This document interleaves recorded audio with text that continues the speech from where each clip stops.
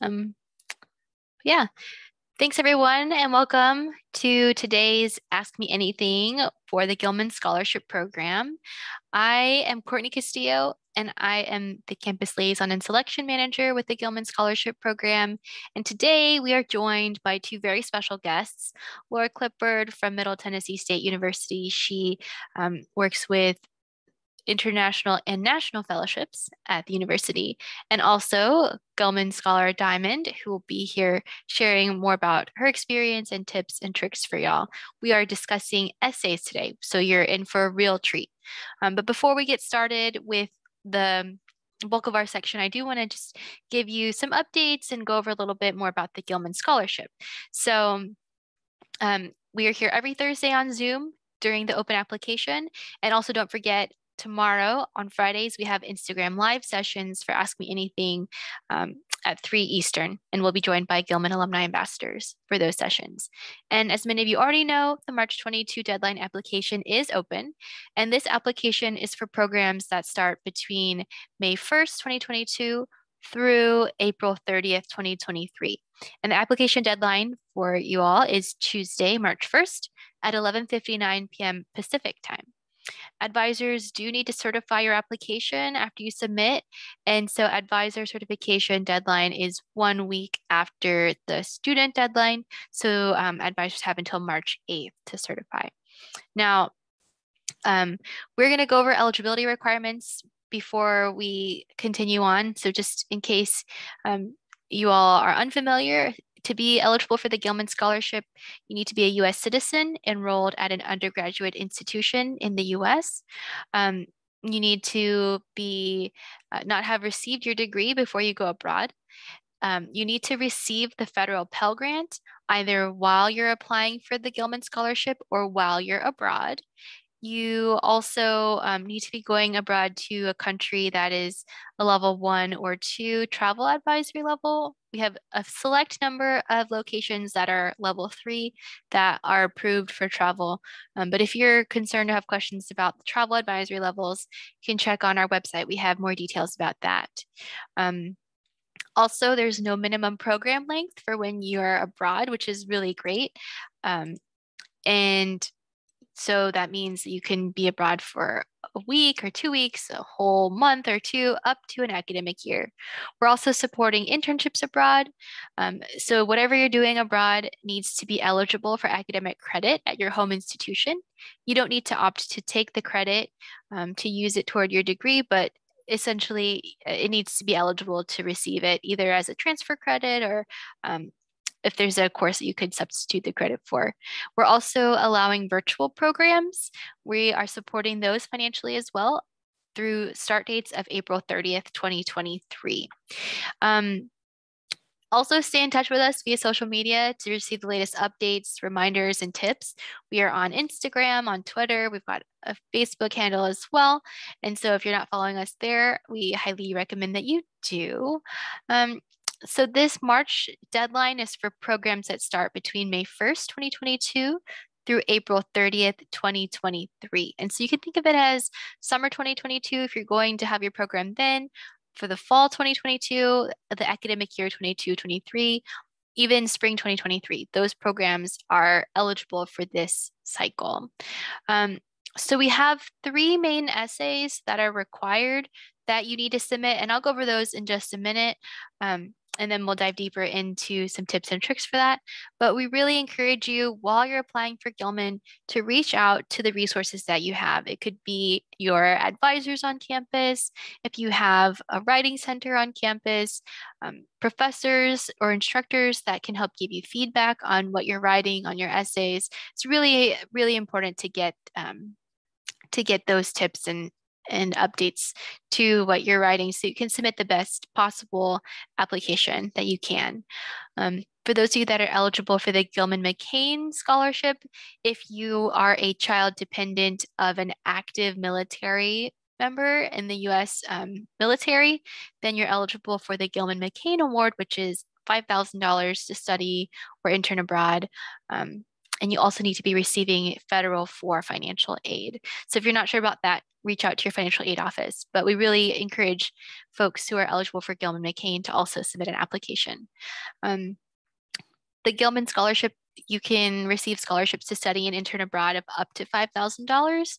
If you're studying a critical need language in a country in which it's predominantly spoken, you are eligible to receive an additional up to $3,000 to um, study abroad for that. And receiving the Gilman Scholarship is not just a financial award that you get, but you're also um, really folded into the alumni community um, and you have a lot of support after you study abroad. So the Gilman Scholar Network is one of those examples of um, alumni benefits for the Gilman Scholarship. And so we really encourage you all to join um, apply for the Gilman Scholarship and hopefully you can receive one. But let me go ahead and just talk a little bit more about the essays that are required for the application. So all applicants are required to submit three essays. The first is the statement of purpose essay. And this essay is really your chance to share about who you are, where you're coming from, your academic, professional, personal goals, and how your study abroad really fits in with that. And so um, we want you to share more about why you're deciding to do what you're doing. And actually, on the Gilman website, we have the essay prompts and additional follow up questions for you to answer. So I'm actually going to go and show you where on the website you can find these things. And so here, um, it's the Gilman website, and you can see the applicant section. And on the applicant section is the essays page. And so on this essays page, it outlines the, the three required essays and also the optional essay for the Critical Need Language Award. And additionally, we have tips on here from the program, um, but also more questions for each essay that we really encourage you to answer. So um, you'll find them on here, the additional questions under each essay. The first three are required, the statement of purpose essay, the Building Mutual Understanding essay, and the follow-on service project proposal. We even have examples of follow-on service project proposals for you here on our website.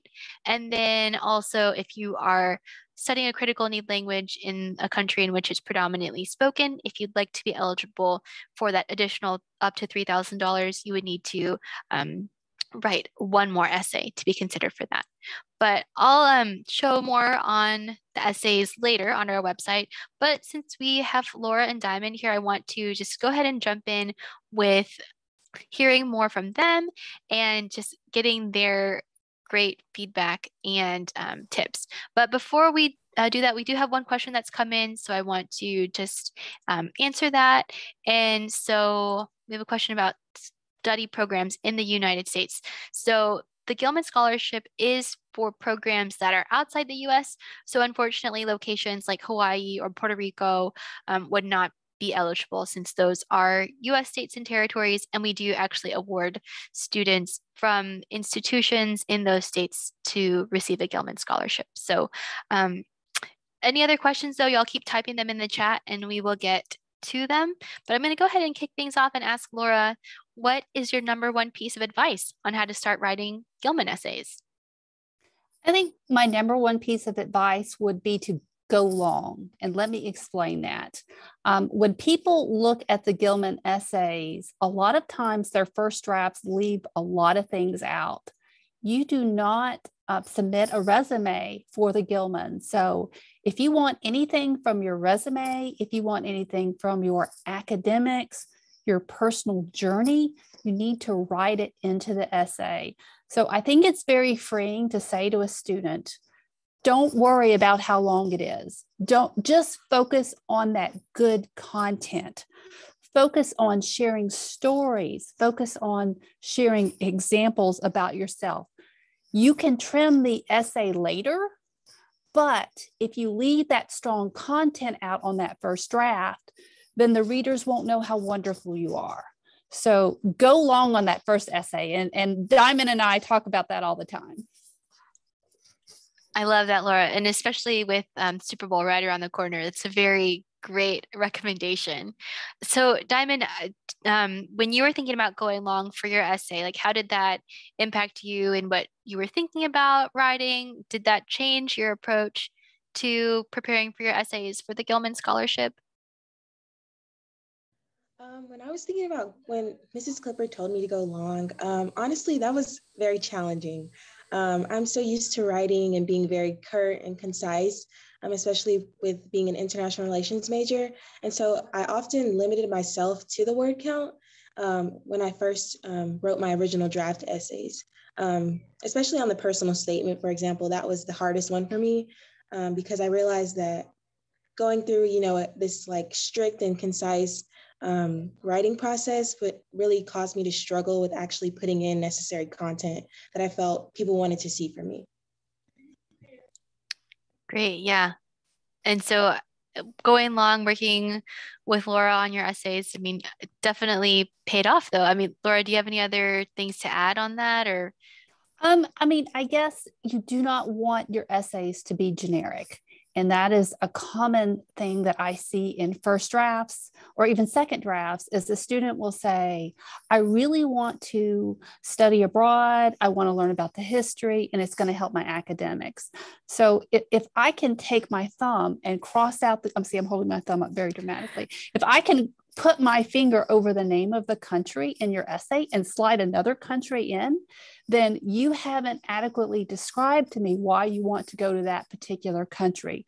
So you also want to avoid being generic. You want to tell the, the readers about yourself and why the study abroad is meaningful. So, you know, stories, examples are, are really key to helping the reader understand you.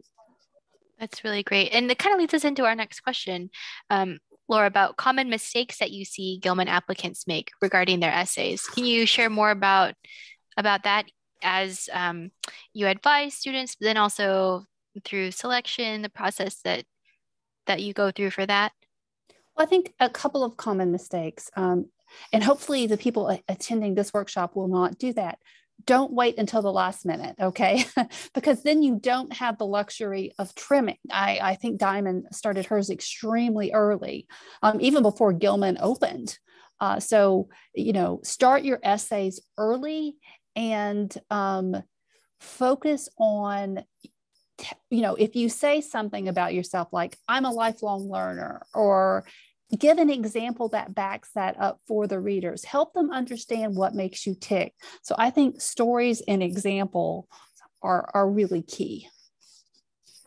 Great. Yeah i liked um, your example of if you could use your thumb to cross out the country name and just insert any other one um, that is just too generic. So i think that's a really really good point on that. So we have um, three required essays, like I mentioned. The first is the statement of purpose. I think we really talked about that in terms of how it's the applicant's opportunity to share about their story, about who they are, where they're coming from. Another essay that we require for the application is the mutual understanding essay. And so this mm-hmm. one's a little bit more tricky because it makes it makes one think about what it means to be a citizen diplomat, what it means for cultural exchange. Laura, can you give us more tips on how applicants can start thinking about this essay? Yes, I think the biggest thing is to to not and Diamond can chime in on this, not to be intimidated by it. Because I will have students come in my office and they look at the criteria which is on the Gilman website and part of the criteria is they want to send diverse students with diverse backgrounds overseas and they'll say, I don't have anything diverse about myself. And I'll say, well, weren't you raised on a farm? And, you know, didn't you raise chickens? Um, aren't you from a small town? And so we'll really dig down into their background and everybody has something that they can contribute and that represents the US in a positive way. Um, the other part of the, the mutual understanding is to think about how you will interact once you are over there. And I think that's very confusing for students. And I think about it two ways either short term or long term. If you are doing a short term study abroad, chances are your faculty is arranging things. Okay. So a good example is I had a student who got the Gilman who was going to Vienna for music. Well, his mutual understanding and interactions are probably going to be around talking to musicians as he attends concerts. So think about the factors in your study abroad. If you're doing a longer study abroad, maybe you're doing a homestay, look at the university. What clubs do they have?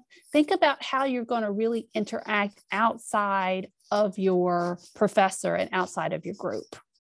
That's great. Yeah. So Diamond, for you, how was how was this essay? Was it intimidating? What kind of um, suggestions do you have for our applicants when it comes to approaching this one? Uh, I found that the um, essay intimidating, um, but what helped me the most when writing was um, thinking about, um, like Laura said, a story um, that, that, I could kind of frame um, the essay around. So, for example, I used a used a story from when I was in elementary school, and my teacher was teaching about what makes what makes Americans American. is it one race, one class, one idea? And so I kind of bolted off of that and framed my essay around my experience in Spain previously. Um, I went in 2017 as a freshman in high school, and I re- really was unfamiliar with the culture and the language. And so I compared um, one of my favorite dishes in Spain, paella, um, to American jambalaya. And so it has all of these different ingredients and different um, components within the dish, but they all share some sort of similarity. And so I kind of used that to frame it is even though I am an American going to Spain and I I'm I may be unfamiliar with the culture. Um, I know that Spain is similar to our country, and so there's you know there's Catalan, there's many different languages, many different people, and so I felt like that diversity would help me understand and kind of foster cultural understanding between myself and other Spanish people. Yeah, that's really great. And I think too, in our everyday lives here in the US, we also are building mutual understanding between us and other people around us. So, really, just being aware of that can help our applicants think about the mutual understanding essay and when they're in a in different context when they're in a different country different location how they can continue to learn more about others and help others learn more about them and um, the us and how what they represent um, with the US. So that's really, really great.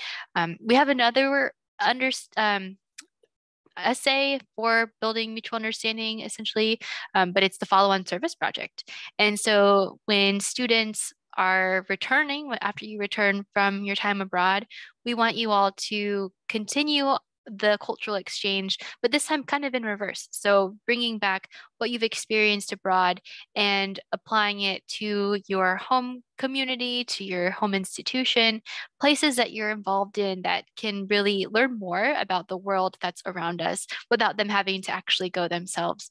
So um, for for you, Diamond, what did you write about for your follow-on service project? Can you share more about that? Um, so for my follow-on service project, um, I really wanted to focus on um, informing people about the Gilman Scholarship in an accessible way. Um, so I like resorted to using social media and um, the Office of Education Abroad at my school usually does Instagram takeovers um, for students that have studied abroad to showcase their program or when they're while they're in the country to showcase, you know, what they learned, their everyday activities and just life in general in their in their countries. Um, and so I have been seeing that, as Laura said, I started my essays like I think a few months before the Gilman application cycle. And so I would always go to our um, Office of Education Abroad Instagram account and I would see, you know, people in Spain, people in Ghana, and all different parts of the world. And just, you know, realizing how how expansive it was and, and learning so much about how people funded their study abroad. And so I really wanted to stick kind of in a similar format to that. Um, and so for my service project, I planned on doing an Instagram takeover, but I also signed up for my um, program provider's um, international student blog um, to really kind of um, finalize some of those details and allow myself to be available to other students like myself who are low income or receiving the Pell Grant that could be able to um, utilize the resources that I used and learn more about the Gilman through that. Yeah, that's really great it's a really great way to give back and help others go abroad. Um, but Laura, do you have any tips for the follow-on service project? Anything that you ask students mm-hmm. to think about when preparing for that essay and that that plan? Usually, I ask them what they're already involved with because when students think about doing a follow on service project, you know, they think, oh, I need to do something really elaborate. If you are active in the biology club, if you are a tutor, if you are active, um, you, you go visit your high school occasionally, you know, think about what you're already involved with and use those pre-existing networks um, to to develop your project because those people will know you and those people are going to be very interested in your education abroad experience. Um, now, students do do projects outside of that, but I, I tell them to start with what they're already involved with. Yeah, I think that's a really great stepping stone, really great foundation because um, it it's natural too, right? If you're already involved in a particular group, whether it's an interest you have or something that you're studying, um, you're also more comfortable, generally speaking. So it's not as intimidating for you to open up and share about your experiences. So I think that's really great advice for that. Um, so we still have some time in the application before it's due. And I know that students are looking at programs around the world, and there's still some uncertainty in terms of um, what to pick for for the program that they want to go on. Um, but Laura, what kind of advice would you give an applicant uh, in terms of getting started on their essays if they haven't yet confirmed uh, the program that they're going to be mm-hmm. studying mm-hmm. on? Um, I think uh, we have a lot of resources for students. So if um, you know, you would start probably with the study abroad or education abroad website. Um, I know our website has a description of programs. Um, if you are interested in a particular university overseas, take some time, find like Diamond is going to join the blog at the university she's going to, find out what resources are available there, um, look at the possible classes, and if, if a student has been to that particular area before, ask them. You want to be able to at least outline in your essay on that first draft what particular details are drawing you forward. And if you don't have it 100% confirmed, at least you can start sketching it out. Yeah, I think that's really great. Really great to prepare. Um, and then along the same lines of preparing, uh, uh, many institutions have different resources available to students when they're writing essays. But for folks who don't have a writing center or an office that's dedicated to reviewing essays, where would you suggest that they go to for support and feedback as they're preparing for their application? Well, the first thing that they should do is they should print off the Gilman website what the criteria is. Okay. And so the criteria for Gilman, I have it here. Um, the impact of your study abroad, uh, community impact, academic preparedness, and your diversity of background. So you want to have that in hand, okay? And then I would probably start with faculty. Okay. Faculty at your university are going to want to support you. Um, you could even go back to a high school teacher but start with your faculty at your university. You could also think about friends and family. Um, I know that my mother would have done an extraordinary job of proofing my essays. Okay. Maybe not my father, but my mother would have. Okay. So you, you might have people within your personal um, circle. It takes a community um, to make an essay strong. And so if you don't have a writing center, start with faculty. That's really great. And Diamond, for your essays, can you share with us about um, who you asked to review, what other feedback you received from others? I know Laura was very instrumental in guiding you for Gilman essays, but did you also reach out to other folks in your network? Uh, yes, I did. Um, apart from uh, the fellowship office, um, I reached out to other um, professors that I had, um, and I allow uh, sent the sent my essays to them as well. Uh, my mom, I also sent it to her. Anybody that I could really get to read the essays to give me feedback, I would ask. Even my siblings who know nothing about the Gilman Scholarship, I just I, I think that was the best thing, getting feedback and actually understanding like how effective I am in writing. And so I went through countless numbers of drafts, um, countless different um, like different structures for essays um, because I I really wasn't satisfied with my first draft. And Miss Clifford will will tell you when you when you're first writing, it's good to just get your ideas out on paper and then from there start building or cutting or um, chopping out phrases that you dislike um, and I think that was the, the best thing that I could have done was starting early. So I really emphasize that as well. Awesome. Yeah, we call that doing a brain dump, you know, take all that good stuff. And I guess I, I can't emphasize this enough. Gilman won't know unless you tell them. So if you have these things on your resume that you're very proud of, they also need to be written into your essays. Great. Thank you all so much. That's such good advice. Um, we are getting closer to our time end, so make sure y'all who have questions that you're typing them in the chat so we can get them answered live. Um, but again, I want to just pull up the Gilman website for you all. This is our essays page where you can see the essay guidelines we have. Um, and also the tips we have for writing competitive essays. For each of the required essays, we have questions to ask yourself. So we have five main questions that you can ask yourself about the statement of purpose essay. Are you making connections between um, your program and goals? How about your country and goals. So as Laura was saying, if you don't yet have a program confirmed, you can start looking into where you're going and really tie that into what where you want to go essentially for your goals.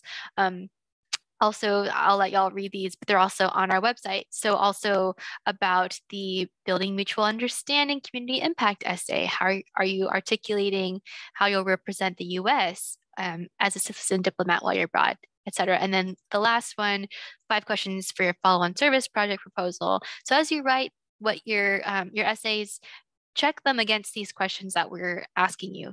Do you have a detailed plan for your project? Do you have an intended audience? Not just shooting into the abyss of the internet of sharing about Gilman. So really things to consider about the essays. And of course, the follow-up questions that we ask. These are also outlined in the application itself.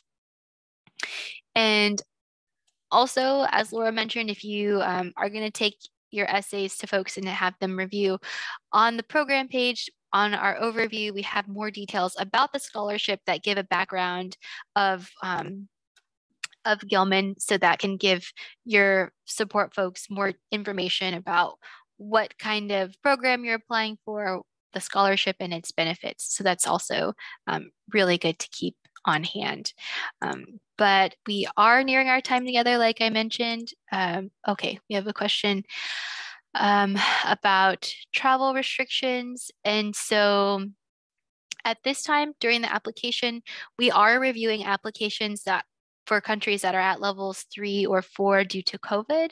And we are just recommending all applicants if the country that they want to apply to is a level three or four due to COVID and it's not a level one or two, those uh, have no restrictions for Gilman if the country level is one or two um, to still submit your essay your application your essays too. You need to have essays in the application but submit the application um, because we are able to award for countries uh, if they come off of that level three or four by the time of the program start.